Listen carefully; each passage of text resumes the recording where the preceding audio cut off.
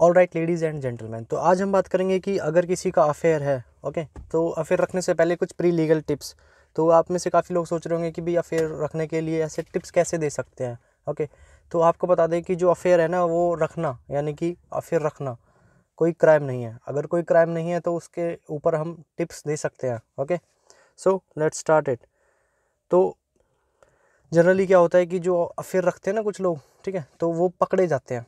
तो वो पकड़े ना जाएँ, उनके लिए कुछ ट्रिक्स हैं, ताकि उनको दिक्कत ना हो। क्योंकि देखो, अगर पकड़े जाते हैं तो फिर उन्हें दिक्कत होती है। हालाँकि कोई क्राइम नहीं है, लेकिन फिर वो मैटर बनता है ना। तो घर में इशू होता है, वगैरह वगैरह वगैरह। तो टिप नंबर फ़र्स्ट कि जो भी यार देखो, कोई भी आपकी पिक्स वगैरह है ना, कुछ भी हो, उसको अपने फ़ोन में ना रखो। पिक्स हो या वीडियो हो चैट हो, वैट हो, कुछ भी ना रखो अपने फ़ोन में कंज्यूम करके। जैसे होता है ना स्क्रीनशॉट ले लेते हैं, फिर बाद में याद करते हैं कि भाई, उसने ऐसा कहा था फीलिंग लेते हैं, वगैरह वगैरह। ठीक है?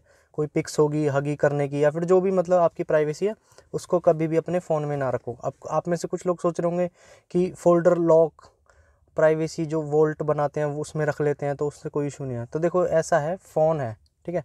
फ़ोन कभी भी हैक हो सकता है, कोई इशू नहीं है। और जो आपको लगता है ना, जो हम चैट करते हैं, जो हम पिक्स सेव रखते हैं अपने फ़ोन में तो वो कहीं ना कहीं एक अलग से सेव भी होती हैं। जो बोलते हैं ना डाटा सेव हो रहा है ऊपर, वगैरह वगैरह, और ये है भी सच। होता ही है, ठीक है? तो बेहतर होगा ये कि आप अपने जो फ़ोन है ना, उसमें कुछ रखो ही ना। ये तो वो वाली बात होगी ना, तुम करप्शन भी कर रहे हो और फिर तुम हिसाब भी लिख रहे हो कि उससे इतने लिए, उससे इतने लिए, ठीक है? तो तुम ये चीज़ ना करो, ठीक है? अफेयर है, जो प्यार व्यार जो है, वो तुम्हारे बीच में होना चाहिए और उसको ज़ाहिर ना करो, क्योंकि आप गलत हो।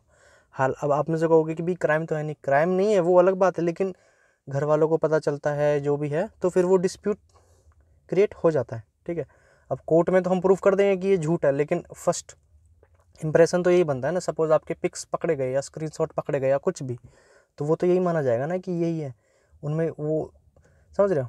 और होता भी यही है। वो तो कोर्ट कचहरी की बात है ना प्रूफ हो ना हो वो अलग बात है वो तो बाद की बात है। लेकिन प्रीमा फैसी जो पहला on the face of it जो पहले होता है वो तो पकड़े जाते हो ना हम्म, तो ये सब गलतियाँ ना करो ओके और कुछ लोग होते हैं जो चैट होती है ना उनको डिलीट ही नहीं करते। ठीक है?